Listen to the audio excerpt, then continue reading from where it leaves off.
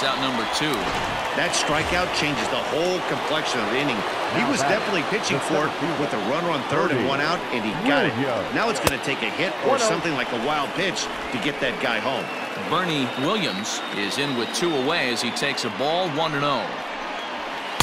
And he misses again 2 0. Now 2 0 with a great hitter up, a runner on third and two outs. This is not the spot where you want to be challenging a hitter like this. This He pulls this one high and deep to right center field. If you don't eat a meat, you can't have any pudding. How can you have any pudding if you don't eat your meat?